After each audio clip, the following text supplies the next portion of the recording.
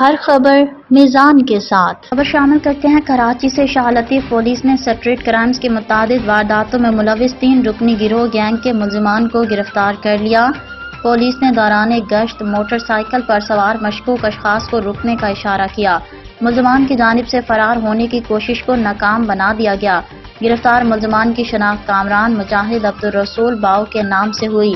ملزمان کے قبضے سے دو تیس بور پسٹلز بمار راؤنڈز، واردات میں چھینی گئی تین موٹر سائیکل برآمد ہوئی۔ تین رکنی گروہ، گینگ تین ملزمان، شانہ شاہ لطیف سمیت کراچی شہر کے مختلف تھانوں کی حدود میں ہونے والی سٹریٹ کرائمز کی متعدد وارداتوں میں ملوث ہونے کا بھی اعتراف کیا۔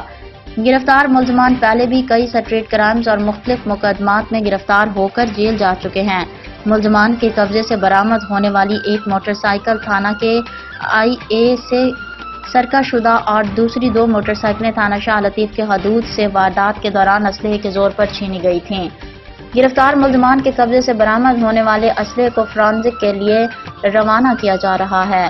شاہ لطیف پولیس کی جانب سے گرفتار ملزمان کے خلاف مقدمہ درج کر کے مزید تفتیش کا آغاز کر دیا گیا ہے۔ کیمرامین جاسم مغل کے ساتھ جاوید تنولی، میزان نیوز کراچی۔